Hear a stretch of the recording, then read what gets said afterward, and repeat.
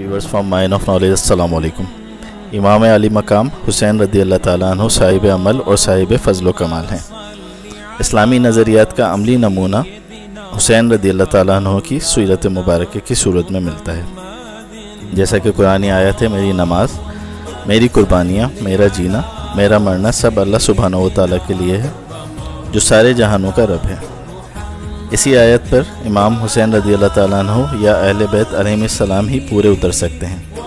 अपने जद्द अमजद इब्राहिम सलाम और उनकी आल की तरह। बेशुमार दरूर सलाम हो उन नसूस से कुदसिया पर। अल्लाह सल महमदिन कमा सल तब्राहीम इब्राहिम हमीद मजीद। अल्लाह अला महमद वाल महमदिन का मुबारक इब्राहिम वाल इब्राहिम हमीद मजीद। हज़रत इमाम हुसैन रदी अल्लाह तु की ज़िंदगी से अठारह अहम इसबाक इस वीडियो में बयान किए जा रहे हैं, जो आपकी दुनिया और आखरत संवार सकते हैं। आइए देखते हैं। पहला सबक, जिस चीज़ को हासिल नहीं कर सको, उसके दर पे ना हो। दानिशमंदी का तकाजा है कि जिस चीज़ को रब सुबहाना व ताली तुमसे दूर कर दे, उसे कबूल कर लो। और वो जिस चीज़ को तुमसे करीब कर दे, उसमें हमत तलाश करो। किसी चीज़ को खोना तुम्हारे लिए बेहतर हो सकता है, जबकि तुम उसके जाने पर रंजीदा हो। जबकि किसी चीज़ का मिलना तुम्हारे लिए बेहतर हो सकता है जो तुम्हें पसंद ना हो। लिहाजा जो हासिल ना हो सके, इसके पीछे हल्कान और रंजीदा होने के बजाय, जो मैसर हो, उसका शुक्र अदा करो। ज़िंदगी में सुकून का ये सबसे अहम सबक है। हज़रत हसन बसी रहमत से रिवायत है कि अल्लाह ताला ने हज़रत दाऊद सलाम से फरमाया ये दाऊद, एक तेरी चाहत है और एक मेरी चाहत है। होगा तो वही जो मेरी चाहत है। बस अगर तुम अपनी चाहत को मेरी चाहत के ताबे कर दो तो मैं तुम्हें तुम्हारी चाहत के लिए भी काफ़ी हो जाऊँगा। और बहरहाल होगा तो वही जो मैं चाहूँगा। और अगर तुम्हारी चाहत मेरी मर्ज़ी के ख़िलाफ़ हो तो मैं तुम्हारी चाहत में थका दूँगा। और होगा तो फिर वही जो मेरी चाहत है। दूसरा सबक है, जिस काम की ताकत ना हो उसमें ना पढ़ो इंसान को कुदरत ने जो ताकत और सलाहियत दी है, उसके मुताबिक उमूर सर अंजाम दे। ऐसे कामों में ना पड़े जिनकी सकत ना हो। अपनी बसात से बढ़कर काम का बोझ इंसान की पीठ तोड़ सकता है। उसे परेशान कर सकता है और नाकबिल बर्दाश्त अजियत में मुबतला कर सकता है। जैसा कि हदीस नबी सल्लल्लाहु अलैहि वसल्लम का मफहम है कि ग़ुलाम पर काम का इतना ही बोझ डालो जितनी इसकी ताकत हो। अगला सबक है, लोगों, जूदो सखावत करने वाला सरदार करार पाता है और बखुल करने वाला जलील रसवा होता है। पैगंबर इस्लाम सल्लल्लाहु अलैहि वसल्लम फरमाते हैं, अल्लाह जवाद और सखी है और वह सखावत को पसंद करता है। बखुल वो दरख्त है जो आतिश दोजख में उगता है और कंजूस लोग दोजख में जाएँगे। मोमिन के लिए मुनासिब नहीं कि वो बकील और बुजदिल हो। बकील शख्स अपने अमवाल से वाजिब हकूक़ अदा नहीं करता और इस वजह से भी वो अजाब पे उखरवी का हकदार होगा। सखावत इंसान की दुनिया आखरत को आबाद और उसे सरदारी और अरूज अता करती है, जबकि बुखल इंसान की दुनिया आखरत को तबाह कर देता है। हक के रास्ते में आने वाली सबसे बड़ी सख्ती तन्हाई के लिए तैयार रहो। लोगों की अक्सरियत धोखेबाजी बदयानती और दरोह गोई का मुजाहरा करती है। हक पर चलने और सच बोलने वाले को कोई पसंद नहीं करता, यूँ तन्हाई का शिकार हो जाता है।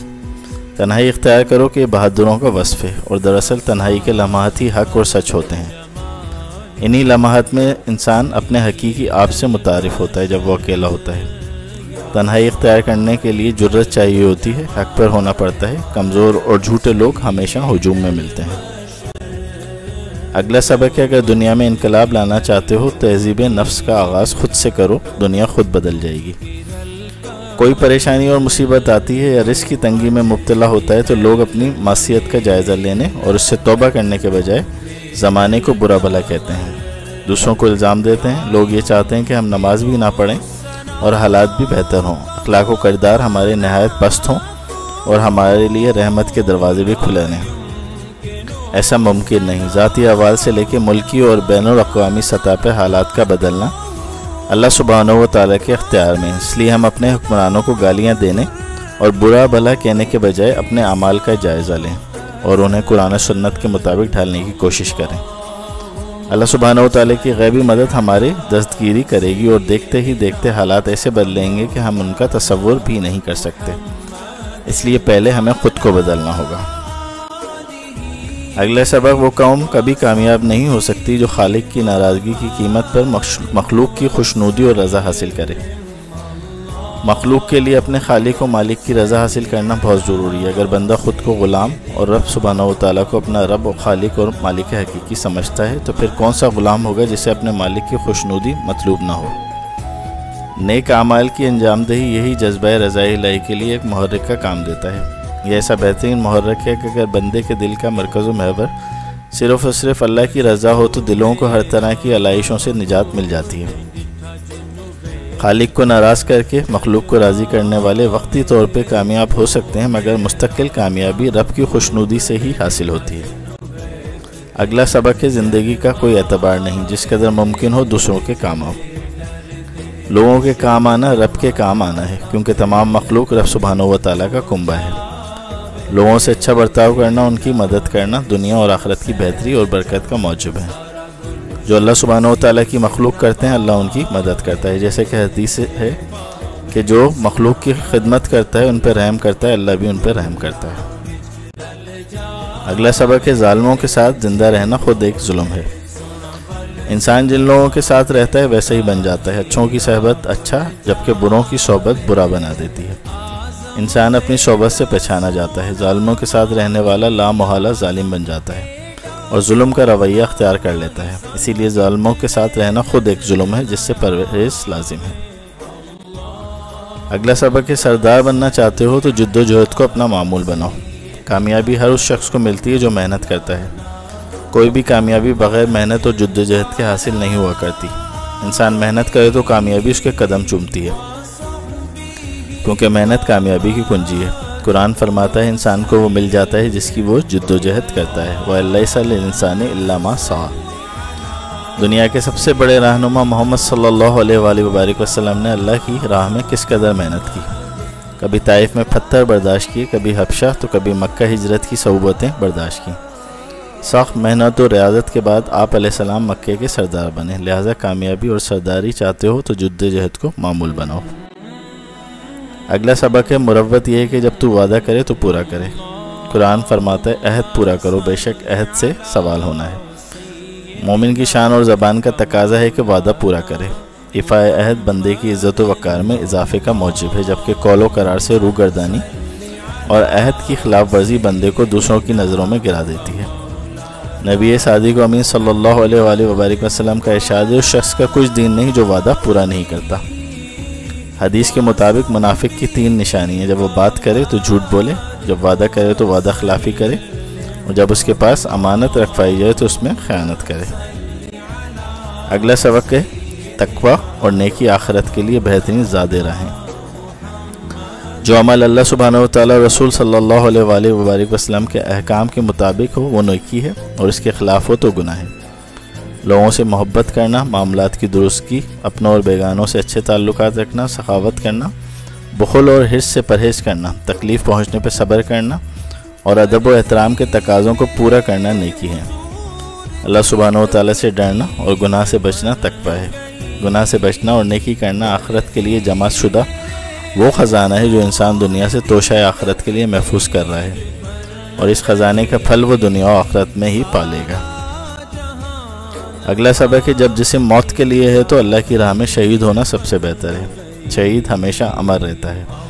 शहादत एक अजीम रुतबा और एक बड़ा मकाम है जो किस्मत वालों को मिलता है। और वही खुशकिस्मत उसे पाते हैं जिनके मुकद्दर में हमेशा की कामयाबी लिखी होती है। शहादत का मकाम नबूत के मकाम से तीसरे दर्जे पे कुरान फरमाता है और जो लोग अल्लाह की राह में कत्ल किए जाएँ, उनके बारे में ये ना कहो कि वो मुर्दा हैं। बल्कि वो तो ज़िंदा हैं, लेकिन तुम्हें खबर नहीं। तो मौत को शिकस्त देने का एक ही तरीका है कि अल्लाह सुबहान तला की राह में शहीद हो जाया जाए। अगला सबक है जिसका मददगार खुदा के अलावा कोई ना हो, खबरदार उस पर जुल्म ना करना। कमज़ोर और बेसरा इंसान को हर कोई हिकारत से देखता है और बिला खौफ उस पर जुल्म करने से भी नहीं चूकता। अमूमी तौर पर गरीबों को ये सोच कर जुल्म का निशार बनाया जाता है कि उनका कोई वाली वारिस नहीं, या कोई पुष्ट पना नहीं। मगर खौफ खुदा रखने वालों के लिए, अमाम आली मकाम तंबी फरमाते हैं कि जिसका कोई नहीं, उसका मददगार रब सुबहान व ताली ख़ुद होता है। लिहाजा किसी को बेयार मददगार समझ कर उस पर जुल्म की जसारत न करना, वरना खालिक के कहर से नहीं बच सकोगे। अगला सबक है, अल्लाह के सिवा कभी भी किसी से कोई सवाल नहीं करना चाहिए। अल्लाह सुबहान व ताली से मांगने में झिड़की का खौफ नहीं, अता करेगा तो उसका शुक्र, मसलहत के तहत अता नहीं करेगा तो कम अज़ कम तजलील नहीं करेगा। जबकि मखलूक से मांगने में कई मसाइल हैं। अगर वो दे दें तो एहसान है, ना दें तो रसवाई। लिहाजा सिर्फ़ पाकि वाले रब से मांगो, जिसकी शान ये है कि ना एहसान जताता है, ना ही रसवा करता है। बल्कि सदा को रहता है कि कोई है जो मुझसे मांगे, और अगर ना मांगो तो नाराज़ हो जाता है। अगला सबक है, इल्म और बुरदबारी इंसान की सीरत को आरास्ता करती हैं। इल्म की बहुत ज़्यादा फजीलत है। इसी बुनियाद पे इंसानों को फ़रिश्तों पे बरतरी मिली। अम्बिया को अम्बिया के वारिस उल्मा ही हैं आज तक। अफजल तरीन इल्म कुरान का इल्म है और इल्म ही अल्लाह ताला के अलिया कराम उल्मा से होते हैं। इल्म और तकवा तो इल्म और बुरदबारी लाता है, नरमी और हमत सिखाता है खैर ख्वाही करवाता है। इल्म तकबर हितक, इज़्ज़त और नाजेबा अलकाज से पुकारना, मुँह पे ताने देना, पीठ पीछे गीबत तो हरगिज़ हरगिज़ भी नहीं सिखाता। गर्ज ये कि इल्म और बुरदबारी इंसान की सीरत को तो किरदार को बेहतरीन बना देते हैं। इसीलिए इल्म हासिल करें और बुरदबारी अपने ऊपर हावी करें। अगला सबक है, ज़िल्लत बर्दाश्त करने से मौत बेहतर है। ज़िल्लत और बुजदली की मौत ज़िंदगी मौत से बेहतर है। ज़िल्लत और बुजदली की ज़िंदगी मौत से भी बदतर है, क्योंकि बकौल शेक्सपियर बुजदिल रोज़ रोज़ मरता है, जबकि बहादुर सिर्फ़ मौत के वक्त ही मरता है। तारीख शाहिद है कि बातिल के तलवे चाट कर सर झुका के नज़रियात से गद्दारी करने वाले अफराद को तारीख फरामोश कर देती है। या फिर मीर जाफ़र, मीर सादिक और यजीद पलीद के नामों से जानती है, जिनका नाम लेवा भी आज दुनिया में कोई नहीं, सिवाय मुनाफिकीन के। बातिल के सामने सर झुकाने और तजलील उठाने से बेहतर है कि इंसान शहादत की मौत इज़्ज़त के साथ कबूल कर ले और तारीख़ में इमाम अली मकाम हुसैन आसमाम की तरह अमर हो जाए। अगला सबक है, जब तुम जान लो कि तुम हक पे हो तो फिर ना जान की परवाह करो, ना माल की। हक के रास्ते पे चलने से इंसान को जिन तकालीफ का सामना करना पड़ता है, वो जान, माल, इज़्ज़त अबरू का नुकसान और तन्हाई है। मगर ये इसलिए, मगर ये इसके लिए दुनिया आखरत में निजात का ज़रिया बन जाते हैं। हक पर होते हुए अगर इंसान से सब कुछ छिन भी जाए तो हक के रास्ते को नहीं छोड़ना चाहिए, क्योंकि हक सुबहाना व इंसान को कभी बेयारो मददगार नहीं छोड़ता।